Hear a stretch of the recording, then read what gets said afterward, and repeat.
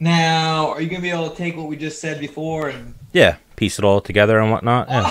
Oh! Oh! Chael Sonnen, welcome back to Menace and the Man. Is he in? Yeah, it says con- up, connecting audio. What's up, man? You look like you're in the lab right now, Chael. Yeah, I went upstairs. I got the kids downstairs behaving like maniacs. Oh yeah. Love it. Love it. It's the way it goes, right? Yeah, well, you got it like in my head. Like I, I like when you know I have like my lady over, whatever. Like, or my dad's like, "Your kids are being wild," but like, listen, they need a window to be Sure. wild. But Yeah. if you have them act like saints all the time, it's not real. What kind of life is that? I'm with you. Yeah. Well, Chael said one of the best lines last time he was on. He's like, "I got two little terrorists at home, and all they do, all, all they do is break shit." Every day. Every day they break something. Every single day. I gotta come home fix something. But you have a girl, right? Yeah. Uh, we haven't started. Have we started? Am I being out of character? No. Oh yeah. All right. Yeah, we're live right now, so you can go do whatever you want. Oh, by the way, Dennis, I must tell you, that's a fantastic haircut you got. I hope you tipped that guy. You looking great, buddy. My lady did it. Did she? Yeah, I pay her with kisses. What do you mean, by the way? What do you mean, do I got a girl? I'm a very handsome man. Of course I have a girl, okay? All right. Always. That's a that's a quarantine cut right there. No, I'm talking about a daughter. You silly goose. Oh, my God. I'm embarrassed. I have a daughter and a son. Yes. yeah. and a super you, just, you were talking about your kids breaking what you were- things. Yeah, she breaks stuff, you know, but it's really weird stuff. That's like she'll get on her hands and knees, and then she'll, she'll like the door stopper that goes ding, ding, ding. She'll like pull that off the wall, like stuff like this. Like, ah, oh god, hadn't even thought of that. Would have locked it up. Hadn't thought of that one. Now, are you handy? Like you're able to fix anything they break? I can fix most of it. Yeah, yeah. I grew up in construction, so yeah. I mean, I, I could probably build a house if I needed to. Yeah. Okay. S- Same thing with Stan, not not the menace. Yeah. Well, I could, but just it, might, it, it, it will work. It just won't be awesome. sure. Might not look right. Right. Right. And, and aesthetics are important. Men- Yeah, I'm really bad with that. Menace would make like a good site foreman or something though. He's good for like motivation. Yeah. Oh yeah. Oh Yeah. yeah. No, he can crack the whip. I agree with you on that. Keep Yeah. going, fix that. No, not like that. Where's your tools? You need lunch. I'm good there. Oh, Boom, he, he higher. he Boom. he's very good with the lunch. Like whenever I've done work with him, that's the number one thing. Every five minutes, you want to Sure. eat? You hungry? You, you ready to go? What do you need? Oh, He's good with that. All my guys are fed, beer, whatever they need, water. Got them. So what are you guys talking about over here today? What do you think about this Masvidal business? Masvidal and Usman aren't going to fight. That can't be right. That sounds weird. That's what we were just talking about. Then we had a little technical difficulty, but we figured that out. But yeah, uh, I don't know. Did you see the report, Chael? Dana supposedly said that Usman said he wants 3.5 million guaranteed. Well, I did not see that Dana came out and said that number. That that's a little lofty. Yeah, he's that's what he wants guaranteed to fight during the quarantine. And then I saw you one of your posts because I'm obviously subscribed to the Bad Guy Inc. Chael Sonnen. Um, Conor McGregor's the number one contender right now by default. Sure, I agree with that. I agree with that. I mean, Conor did dip his toe into that weight class. He beat Cowboy. Cowboy was ranked in the top ten at the time. It took him 20 seconds. and it's hard to act like Conor's not in there somewhere. And then when you start moving the other pieces on the board, you know, you got Leon Edwards can't get into the country. You got Tyron Woodley is busy this weekend with Gilbert Burns. You've got uh, Masvidal saying no to the number one contendership, rumored to be going after Diaz. Colby Covington is. I, just haven't heard what's. I don't know if he's sick or hurt or waiting for somebody. I mean, just by process of elimination, Conor starts to look better and better. Yeah, and I have constant alerts. I had an alert yesterday that said Colby Covington is actually off of the American Top Team roster. I heard that too. You know, I hope that isn't true. I didn't follow up with them to find out, but I, I tend to think where there's smoke, there's fire. You know, in this sport, there always is. Whenever you hear a rumor, it's usually a, a report. It turns out to be true. And that would be a tough one because he's in Florida. I don't know how much his roots are in Florida, if he's seeing a gal, by example, something along these lines, but he can't go over to the Blackzilians. That's Kamaru's team. And so then it comes, you know, where are you going to go? Is he going to go out to Colorado? Some great teams out there. Is he going to come back home? Uh, join back up with us. I, I don't know, I, but I am I am curious about that. You know, when you lose a gym and you got a new environment, it's a big deal. Yeah, that's what I'm seeing a lot of people say. Is that that's what they think is the fit's going to be right back there in Oregon. Yeah, no, we'll see. I mean, that might be the answer. There's some good guys out here. Austin Vanderford comes to mind. I mean, there's similar Yeah. weight classes.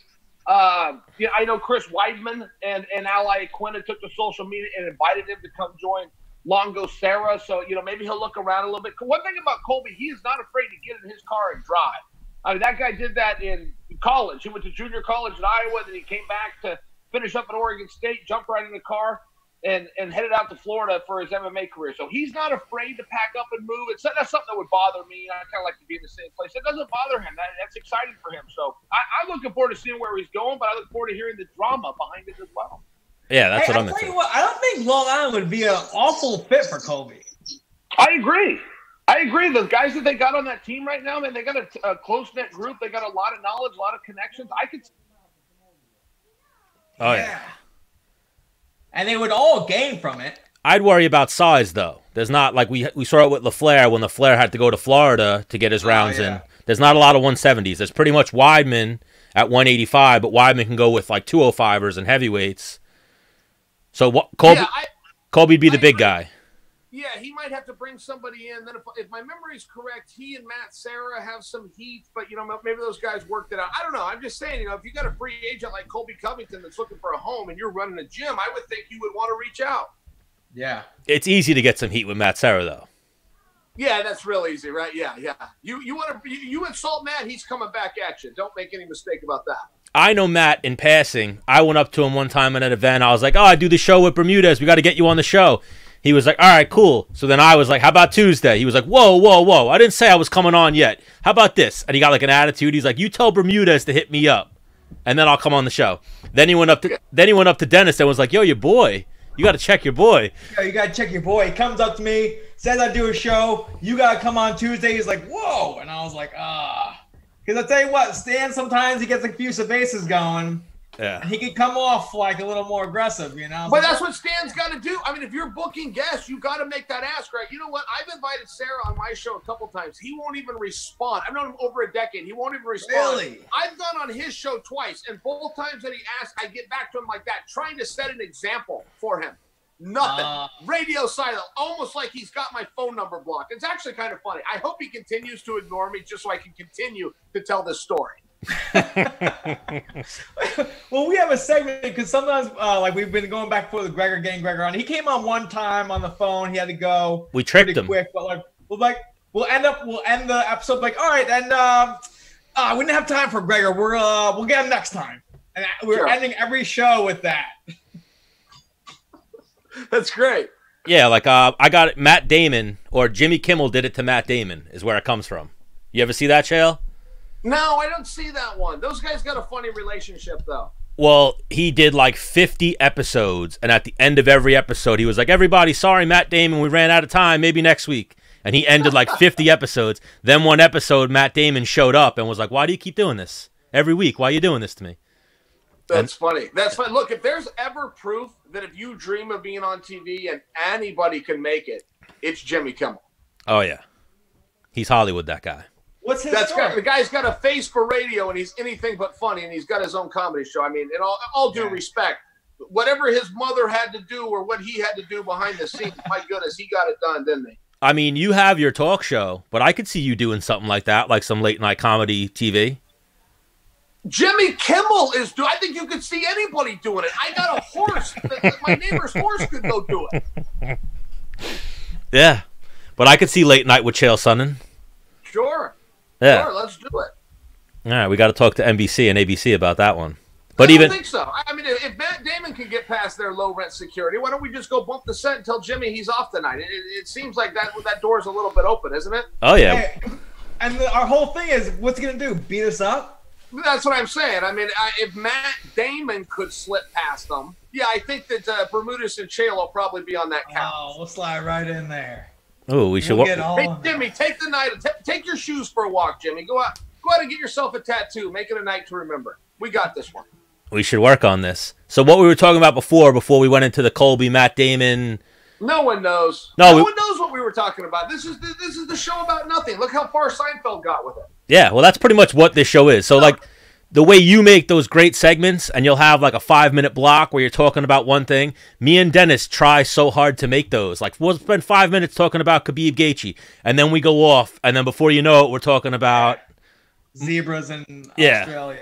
It always takes you in some other direction. Well, you know, 170. I'll, I'll tell you. I mean, we are kind of talking about 170, but that is a lot of moving doors right now. Is Conor the number one contender?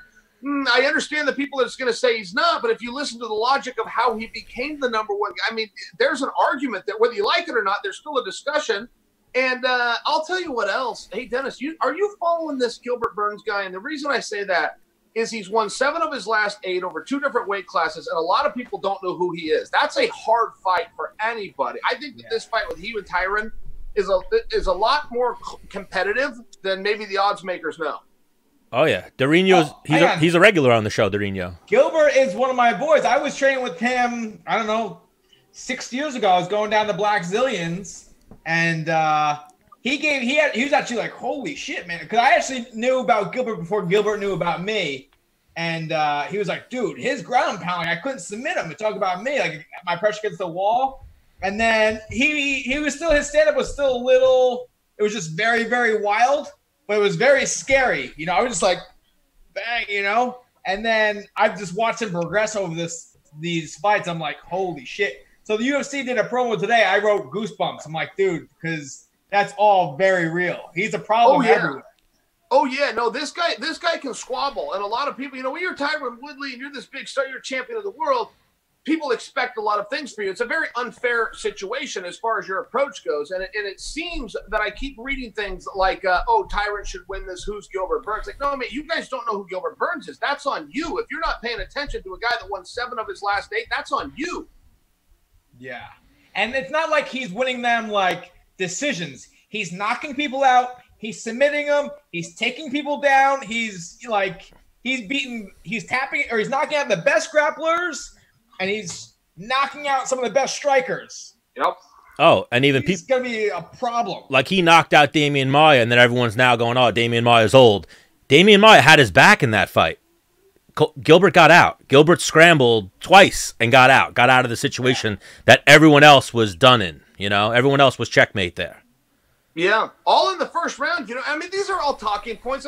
Tyron Woodley is something very special, but but I think the talking points are relevant. Look, this is a short notice fight. This is a five round fight. Tyron hasn't been in there in a period of time. I, I want to say it's a year, roughly, maybe even a little bit more. Was it March of last year or May? But I mean, you get my point. Right around a year. And then you look at Gilbert.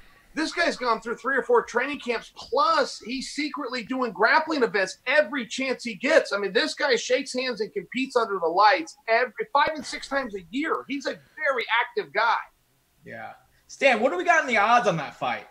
I think it's close, but I think uh, Woodley's a favorite. I'll double check it right Oh, now. I, I'll, I I like Gilbert all day because, like you know, Tyron is is a he's a fucking amazing athlete, but I think he has his hands on a lot of different things. Age isn't on his side, whereas Gilbert Burns has just been like going, going, grappling here, grappling here. You know, Tyron's doing a movie here, a rap song here, an appearance here. Gilbert's hungry, man. What? Hang on. Every time someone pulls out, he's the first guy. Put me in. I'm ready. I'll come right Yep. Yep. And particularly Dennis, particularly him changing weight classes has really allowed him to mean that. Like, you know, when he doesn't have Yeah. to beat the scale, it's like I'm ready. He's all Yeah. he's never not grappling somewhere or fighting somewhere. He's got something going every single month. The guy's really incredible.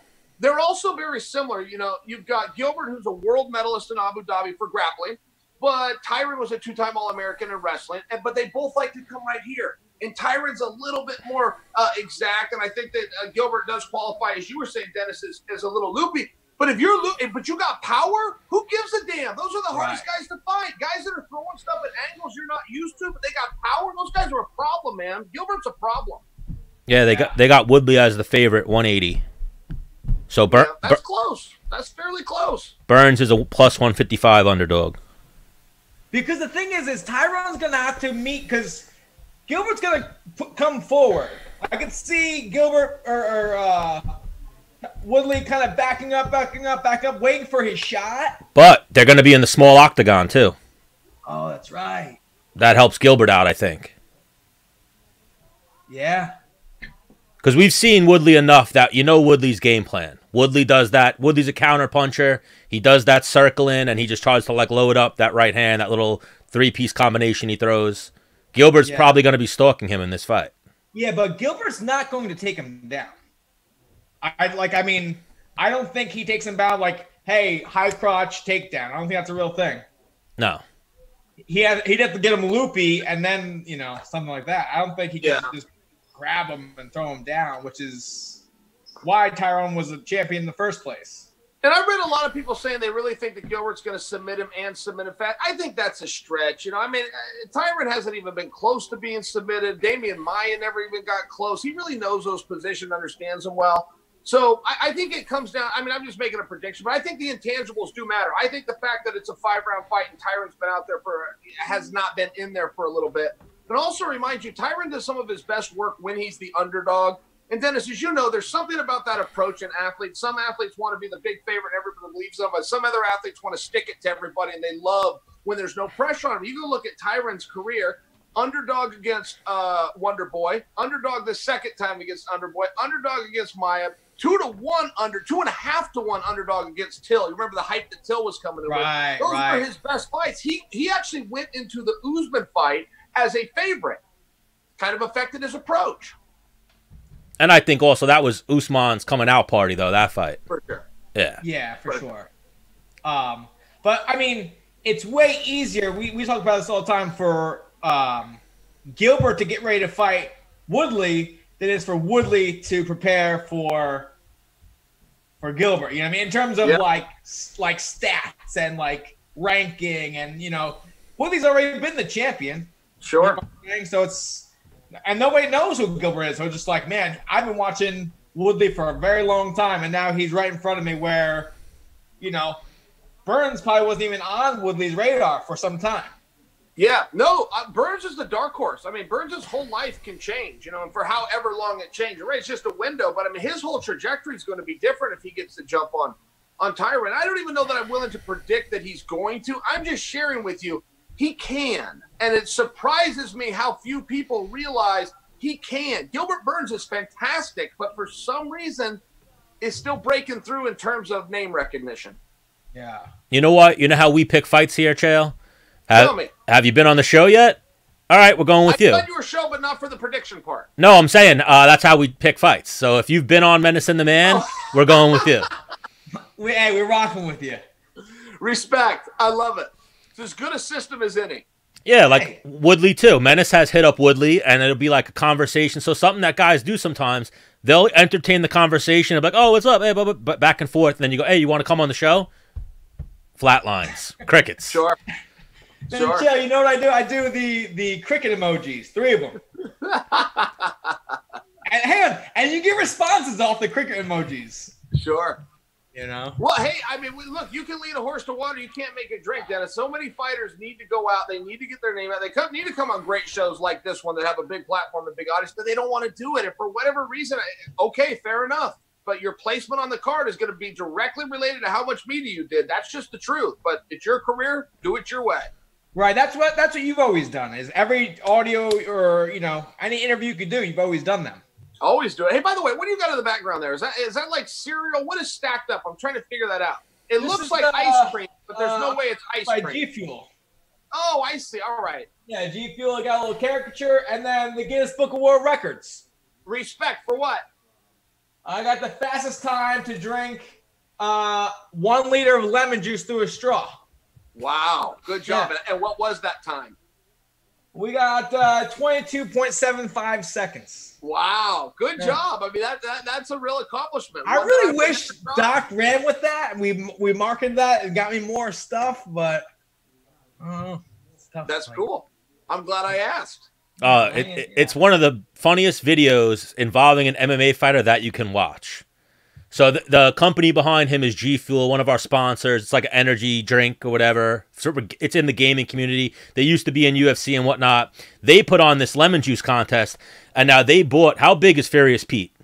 Menace. Uh, he's a he's a big YouTube star. I'm talking like physically. six million YouTube uh, followers or subscribers, and then they brought in two different gamers who had I don't know between the two of them like 10 million followers, and it was me and Brittany Palmer, and we did like um this um I don't know scavenger hunt around New York City. At the end, Furious Pete he has like 10 Guinness Book World Records. So anything he tells them they're gonna do, Guinness Book of World Records shows up. They have the suits on. It's all official. You know, so like, hey, you know, you guys want to be in? I'm like, I'll take a few sips, spit it on the guy next to me, it'd be funny. And then the guy did a countdown. I was like, oh, here we go. Let's fucking. Let's I'm do gonna- it. I'm because there was there was that was there, not with my name on it, but it was in the room. Sure. You know, so I'm like, so I fucking hit it hard. I finish. I lift like a you know in the like a solo cup. There's the uh, that little like rim in the bottom Yep. Yep. that had lemon juice in it. So he's like, sorry, I can't accept this. And I was like, what? So I knew I could do it because I did it that one in 20 seconds. So I'm like, well, he's like, you could retry if you want. I was like, how much time? He's like, I was like, an hour? No. I'm like, fuck. So I went, I like tried to, I was like, do I throw up? What do I do to try and get ready for the second Sure. attempt?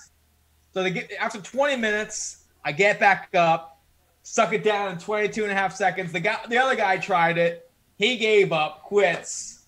I got the fucking certificate because I'm like, there it is. It's right there. I need that. As a kid, when you saw the Guinness Book of World Records, you're like, oh, I could do one thing in there, Sure. right?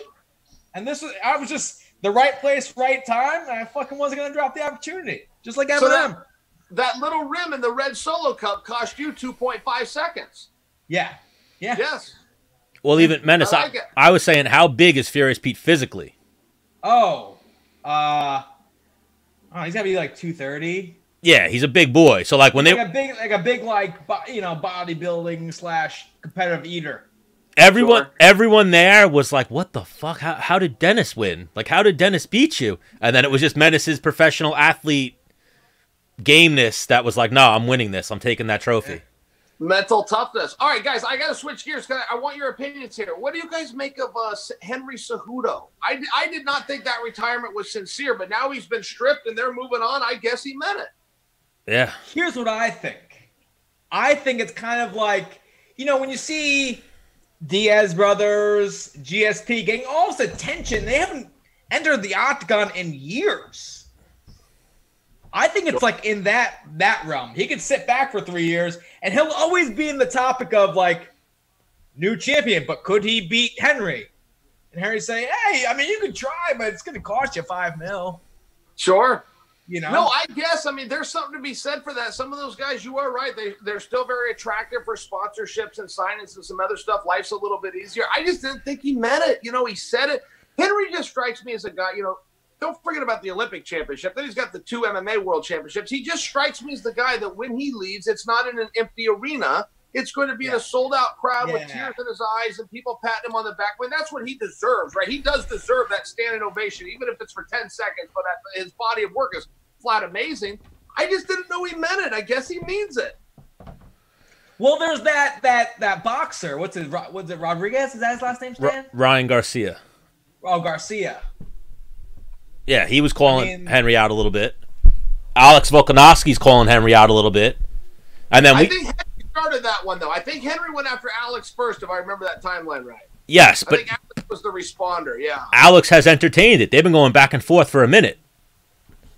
Now, what Who about this? mid- on st- What about this this mid card boxer that Dennis didn't even have his name? You just said it, and I don't even know his name. And I follow boxing. I mean, that guy could he draw flies? Is that a real fight within that I, community? I did not know who he was either, and I'm a big boxing fan. Then I looked at him. He's got like six million followers. So yeah, Okay. he must be. I've seen the name before. I've seen the face before.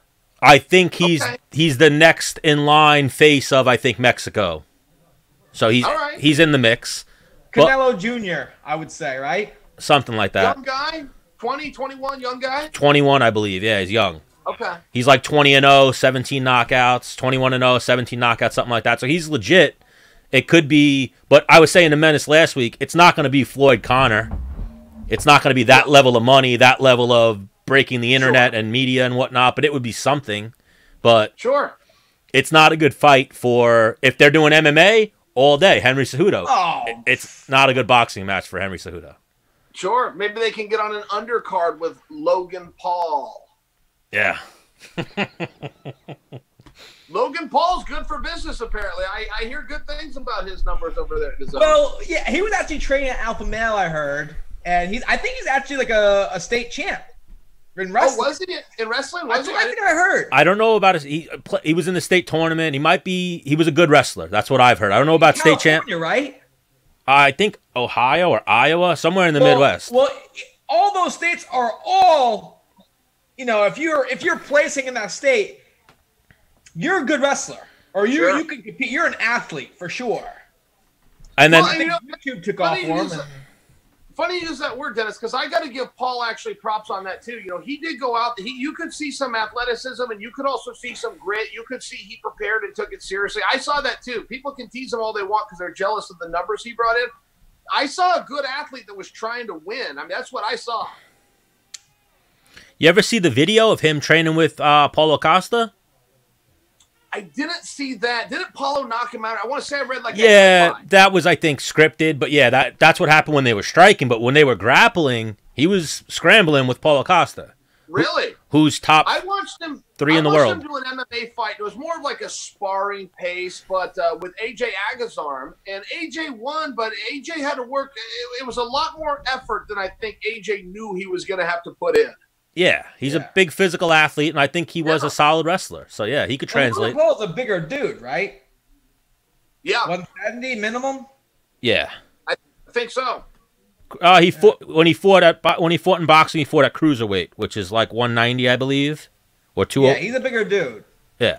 So he's a big boy, and if he's strong, fit, you know. and like I mean, with the money that man's made off YouTube, he can get the best of the best to train him. Sure. I, I thought you were going to say the best of the best supplements, but um, yeah. e- Either way, yeah, we're saying the same thing. yeah, that too, that too. I think he had him and his brother had Shannon Briggs training them. Okay. Yeah, I've heard you Oh, is speak. Mike Tyson fighting? Yeah, that's what I was gonna say. You know what? I hope so. I'm actually into it. I, I, I've heard everything Dana said about you know these older guys, and I think we learned a lot from Chuck and Tito, and it's, it's not going to be pretty and all of that stuff. When Mike Tyson does something, though, I, I watch. I mean, he's put out three training videos that I've seen. The longest one was 11 seconds, one was eight seconds, and one was five seconds. I wish it would have been 11 minutes, eight minutes, and five. I was so sad when it was over. I, I there's something about him for me that is compelling. If he's doing something, I'm watching. Yeah. And because I saw I saw those same clips, and then I saw Holyfield like doing something. I was like, I don't know, Holyfield, don't do it. If Right, anything- don't do it. I any of those three agree. combinations, they're sleeping. Yes. Evander did not look good. And there's something about these old boxers too, Dennis. I don't know what it is, but every time they shadow box, everything's right here. Like they throw an uppercut from here, but they throw their hook from here, and they throw their jab. Like they never extend, and I have no idea why. I always watch them, and they're just right. Like Holyfield's running and doing a hook. And doing, like, you know, Evander, you're gonna have to get that arm out there just a little bit. And I don't know what that is. I don't even know what kind of observation that is on my part, every time I watch those, for some reason they're just really they're right. They can't do any more effort than I don't know if it's a tendon issue, coincidence. I don't know, but that's one takeaway that I had from watching You those two guys. Now uh, you're saying this. I'm just thinking of this just now. You know how like in wrestling we would extend really far for the high Yes. crotches because the leg might be going. Is like if you hit this as hard as you can, it's going to do that. Sure. you go like this, it's going to do that. So maybe that's what we were fucking up is we were throwing this, so we were actually fighting. It's like, Yeah, these guys won world titles. Maybe we're learning something that this is all you need to do in shadow box. I don't As know, but I'm just fast telling you you, can. guys, that's what they're doing. Yes. I mean, Tyson looks good for 53, but I don't think he should. I mean, uh, do I want to see him do it? Sure. I don't think he should fight Shannon Briggs or someone like that. Like I was, Yeah, but- I, I was looking at it. Tyson hasn't fought since like 2005. Shannon Briggs was fighting like three years ago, and winning Oh, I didn't fights, know that. and winning fights. Because Shannon's the same age, though, isn't he? I mean, Shannon looks like a Greek god carved out of stone, but I think he's 53 years old, too, isn't he? I want to say I just looked that up. I think they're the same age. No, I think Shannon's a little younger. Okay. and like I Shannon was fighting heavyweights, like not the top of the t- top of the food chain, but he was fighting competent heavyweights three or four years ago. I remember Okay. when Tyson was last fighting, he was done, checked out. He was getting beat by the journeyman. Sure. The journeyman were taking what he had and outboxing him, and then he would oh yeah. he would find a way out. Like he would like let them lean on him. He would sit down, and then all of a sudden go back to the corner, end of the round. They'd call the fight in between rounds. You know, that's where Tyson's career was at that point. And then we got Joe. Do we have Sug this weekend? Yes, this weekend, Craig Jones returns. Craig Jones is taking on uh, uh, Wagner Rocha. It's actually a rematch, and Wagner won it. Craig Jones wants to get this one back. Ooh. And I only tell you that, Dennis, I only tell you that because Craig Jones is running through everybody so fast, so easy. He's barely breaking a sweat in there. I feel like I have to compel you to tune in and watch him. The fact that he's taken on somebody who beat him before, I mean, that's meaningful. That, there's not a lot of guys walking this planet that can say they got the best of Craig Jones. Wagner Rocha did. And he's he's a modest dude too. We had him on the show, and he was he was He's like, "Yeah, best. Ryan, Gordon Ryan messes me up." You need him to talk a little bit, right? Like, come on, Craig, I need more. I need, he's a handsome dude. He's got a great story. He's great at his skill sets. It's like, Craig, come on, I need a little more. Yeah, Talk we got we got a, we, we we squeezed them pretty good. I think we get more of them though, right, Stan? Yeah, but no, he was great. He was av- he was one of our one of my favorite guests to be on the show. He actually like um opened up more than I've seen him in other interviews. I- Good. yeah. I'll have to go back and watch that. Yeah, he's a talented. I mean, my goodness, he, he's the best. Period. He's the best. That card's loaded though. We got Austin Vanderford. He's taking on uh, Gabriel Checco, and Gabriel just came off a real fat, like a one minute win, uh, submission win over Jake Ellenberger. And we also have here's one Dennis that I think you will like, but Jake Shields is going to take on former Bellator champion Brent Primus. And Primus has never entered submission underground, but he is an ace. He's an Eddie Bravo, 10th Planet, Fabiano Scherner, black belt, very, very good on the ground. That's a, that's a fun match. Yes. Jake Shields been competing a lot, right? Yeah, Jake Shields is a handful still. He's just got that iron will. Dennis, have you ever worked out with him? You ever rolled with Jake? I I haven't. I mean, I went I went boating with him one time, had a couple beers with him, but I never actually grappled with him. Um, he, he, I will say the same thing behind his back that I say about you behind your back, which is this guy is going to try to beat you the entire time. There is no point in this fight where Dennis is going to back down. There is no point you're going to talk Jake Shields out of trying to win. And the same could be said for Brent Primus, man. He's just one of those competitors. He, he coming to win. yeah. Yeah, this is a stacked card here. And even Austin Vanderford, that guy I think is like one of the sleepers. Like I'd love to see him in the UFC, but he's in Bellator. I think that guy's a future champion. La- last two fights were against uh, black belts, high level black belts. He tapped them both out. He is a purple belt, just by example, but he just loves to compete. Can't get him to say no, won't turn down an opponent. He wants to take on Craig Jones. I'll Yeah. tell you, he is not ready for Craig Jones, and his coach, fortunately, will not let him go take on Craig. But that's where his mind is. He that's what he wants. The harder, the better. Bring it on. Win or lose, I'm in. Dude, I remember my third time ever training. I went with like a group of upstate guys to another gym, and then the owner of the gym was like, "Yeah, I'll go with this guy," and I was like, "All right." So I'm going with the guy, and he tapped me. I was like, "All right." So then I didn't know ankle lock. I put him in the Ken Shamrock ankle lock. Sure. I was just like tweaking, and uh, I didn't. I didn't get the tap. I think he had. He might have tapped, but I wasn't welcome back. okay. You went a He's- little hard. He was like, you got This go. guy comes in my gym. He's doing backflips. He's you know, like what? Years later, he regretted that. Years later, he regretted making that Yeah. decision, but I get it. Yes. We actually have a funny Austin Vanderford story too. Austin Vanderford is the lost episode of Menace and the Man. Like, What happened? we we didn't know Dan was in charge. Yeah, we didn't know how to work our equipment fully yet. It, it, it was like our first traveling show, so the audio wasn't picking up. We had the most amazing interview with Austin. We had Austin open up. We had a cameo from Paige VanZant. We had like so many great stories. And then, like 47 minutes in, we go, wait, I don't think it picked up any of the audio. I hit a button. We then get like four minutes with Austin.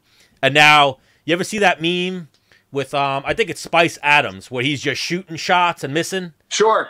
That's been us trying to get Austin back on. Just missed up, missed shots. Oh, you know what? I gotta shoot the shot, Stan. I haven't. I've been letting because hang on, Joe. Me and Austin had this like real like organic bromance. It was weird. I'm like, are we friends? Are we?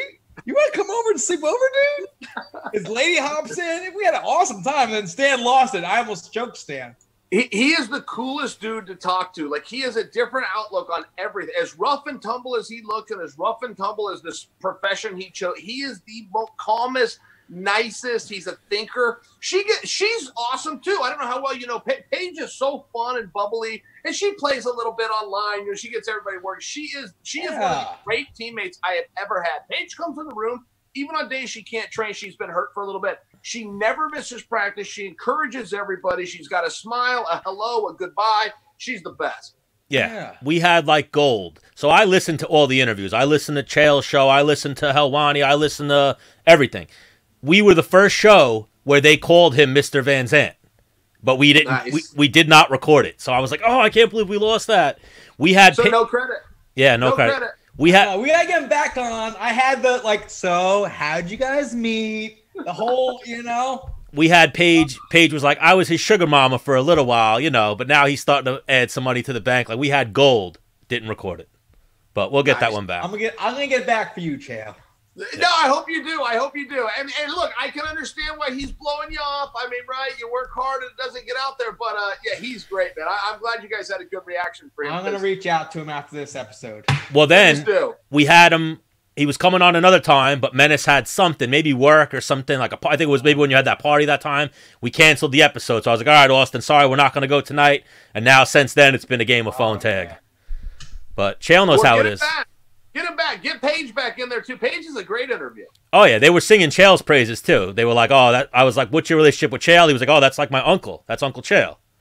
That's very sweet. I, I really appreciate that they that they said that about me because I, I look at it the same way, man. I mean, we got a good team out here. I got to tell you, Dennis, you've probably been uh, mainly part of really good teams, but maybe over the years you you had some teams where just people just weren't getting along. This team out here in Oregon, man, we they're- get along really well. Get some good opportunities too. I think we got five guys signed with Bellator and three through the UFC, so there's opportunities, and that makes a gym exciting, right? When somebody's getting ready for something, now you get to be part of it, and it keeps Oh. the motivation high. The best. The best. Some of my best training, some of my own best training camps is when I was already helping somebody get ready for a training camp, and then I was just in shape, and it was like, "You want to fight?" I'm like, "Fuck yeah, let's do this." Why not? Hey, by the way, uh, give me give me some scoop. Have you guys talked to Gillespie uh, lately, Gregor? He's been fishing. Um, he's got a girlfriend. Nice. Promise. He says, you know, he promises it's not, you know, making him soft. Sure. Um, What we all say. Sure. he's he's the the. I think this quarantine, he's just been upstate in Roch- Rochester just fishing. I don't think because you know for him to do private lessons and stuff, like that, he crushes.